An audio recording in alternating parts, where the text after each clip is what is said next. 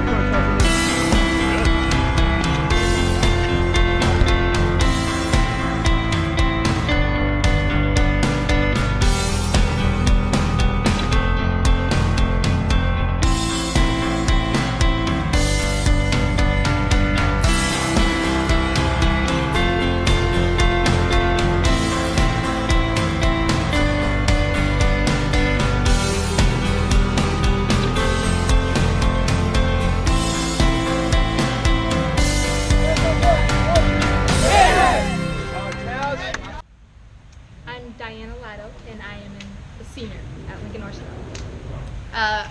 I'm Miriam Clark, and I'm also a senior at North Star. Uh, I'm Tasneem Ali, and I'm also a senior at Lincoln North Star. All right, excellent. Thank you um, for doing this, ladies. I really appreciate it. Um, if you want to talk about kind of the summer or the season or what the outlook on is for this season and things that kind of have motivated you. Uh, this year we are actually super excited. I mean, our ultimate goal is to take our girls to state. Uh, last year, all three of us made it, and our team missed it by three points. And the year before that, our, our team missed it by four points. So like uh, this year, we're like that's like our ultimate goal, and like we're motivated and working extra hard to get our girls team to state this year. Um, so hopefully, like this year, one thing that we want to do to like up our like training is like we added in like weightlifting during the week, and like we're gonna do more swim workouts. But otherwise, like we're keeping a lot of our training like the same and stuff.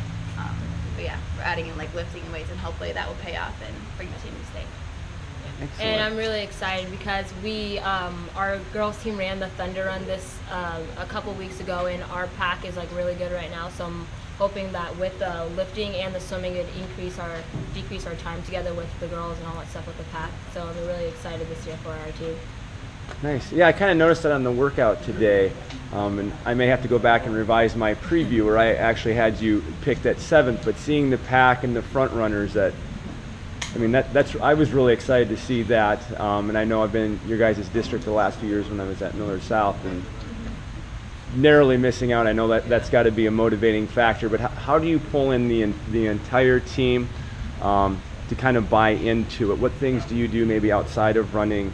Um, We do a lot of team bonding. Yeah, I mean, we think that the, the closer our team is, like with our friendships and like at the end of the season, hopefully we're like inseparable, like family. So then like we would all we all want the same goal, and we all you know hoping to see us all there at the state meet is just really incredible and fun.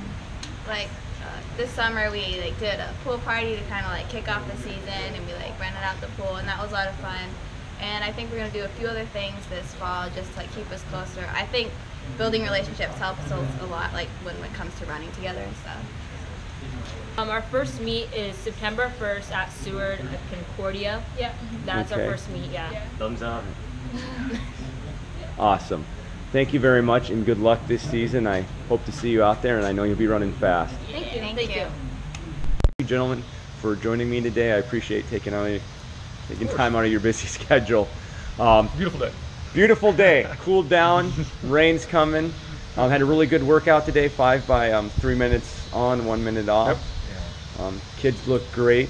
It was a successful, a successful workout today, with the, especially considering the week we had. It was a it was a rough week with the heat, and, and uh, just a odds and ends. School starting. It's always a tough tough week with school beginning, and, and uh, it's hard on the kids and teachers and, and everyone involved. But we got through and had a great conclusion of the week. So um, yeah, good workout, good way to end it. Um, good numbers. We continue to uh, get kids out, a lot of rookies and freshmen and, and newcomers out. Uh, uh, getting paperwork and physicals and all that. That's always a that's always a, a pain. But uh, on the boys' side, we're really we're really rebuilding. We Yeah. had some unbelievable seniors that were just grinders that qualified for state last year as a team, and, and some are running in college Yeah. and some aren't. But uh, we we missed their leadership and, and uh, not only their running, but just they were they've been with us for four years. They went so- through the program. They were freshmen Yeah. who started out at just you know 22 minute guys and 23 minute guys and worked down to mid 17s, and it was it's, it's the kind of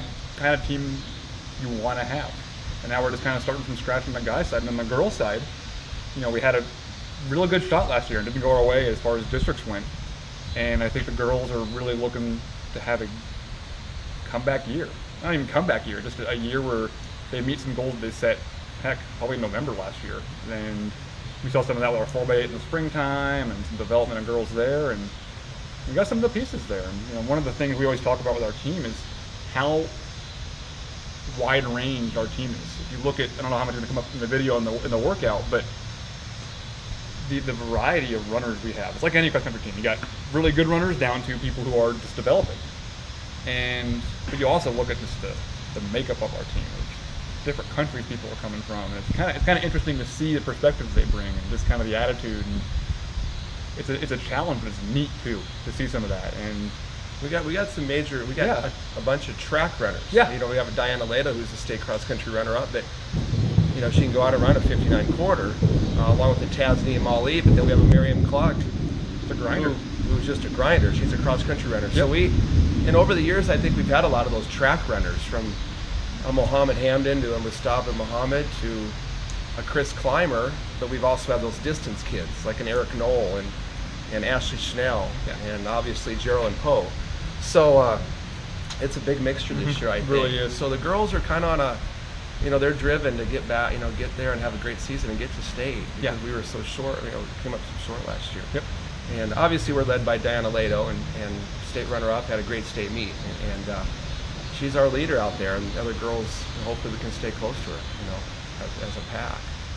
Yeah. I think our, our first meet, our first meet at Seward will be a good good test with Millard South coming this year. Yeah. And uh, Miller it's- South on the girls' side, west side on the boys. I mean, yeah, That's, and Omaha Marian girls are always there, Yep. so it's, it'll be a good first meet. Uh, it's always a good one. Um, with Taylor there, and, and obviously Diana and the Millard South team, I think that'll be a good test for us and for them, I hope. And Omaha Marian girls are always solid, so it'll be it'll be a good one, I think. Yeah, it'll, it's always competitive. Somehow it's always competitive. The first meet of the year, people getting in shape, and we look forward to it. Because then we go to Sioux Falls and we go to Norfolk, and we get to see a bunch of different teams and different courses. And you know, we we've talked about doing some different meets over the years, but we like the way that season breaks down and just kind of leads us into Kearney then, and then it's championship season, and we hope we're in the right spot by then, and you know, people are coming along. So Yeah, there's a lot of great runners in the state Yeah. back this year. Yeah. boys side and, and girls. But boy, there's there was there was a great state track meet last spring, so Mm-hmm. a lot of great two milers, and it's gonna be a, it'll be an interesting season. Yeah, it, it's definitely seemed like in last five, six years, times have continued to drop both on the girls and guys side and to get into that top 15 in state, even you know down to that top five. It, it's taken more each year. yeah. Um, so training wise, what's probably changed this year? What things have you looked at? I know the girls talked a little bit about weightlifting. We've been a little more purposeful. You know, typically distance runners roll in the weight room, do some core work maybe, do a few curls or bench press and that kind of thing. But we've done a more formal strength pro- uh, program with our, our new strength coach and Coach Howard. It's kind of been heading that up, and it's been kind of neat to see. We're gonna see how it plays out. But we're you know, trying to build, I guess, a more complete runner. We were just talking yesterday, if you know, sacrificing a few miles here and there in your in your overall mileage is worth the, some of the weight stuff. And we're thinking, you know, we're going to see how it goes and play with that. And as far as training in general goes, this kind of thing today you saw, that three on, one off kind of thing, we've been doing more of that over the years too, and getting away from maybe a little more of the intervals and just mixing this in a little more. Not only do we think it's good, just good training, it, for the kids mentally, it's good also. And we just think that it's, you know, it's neat for them to kind of see and run with some other runners. Um, it really pushes that pack Yeah, mentality too, yeah. and, and we've we've changed our training over the last maybe five six years since when Geraldine came through. You know, again, we had a lot of speed over the years before with, you know, with the Chris Clymers and Ashley Schnells and some of them, but you know, so we've we've changed our training a little, little bit more strength driven, but you know, years. and That's probably you. well, maybe, but I'm more the speed track yeah, guy. but it's, it's just you know, like any coach, we're trying to find that little combination that works for the team you have. And you want to have your your philosophy and that kind of thing, but just trying to get the most out of the kids by the time we get to you know districts and, and those last JV meets too. Just yeah. The, the big struggle. You got kids that have ran five, six hundred miles this summer, and the mm-hmm. kids today or this week was their first days out. Literally, it is first day. So you got the whole spectrum in cross country. I think most schools do. So you just try to get them to Yep, the maximize what they got. Yeah. Exactly. Right.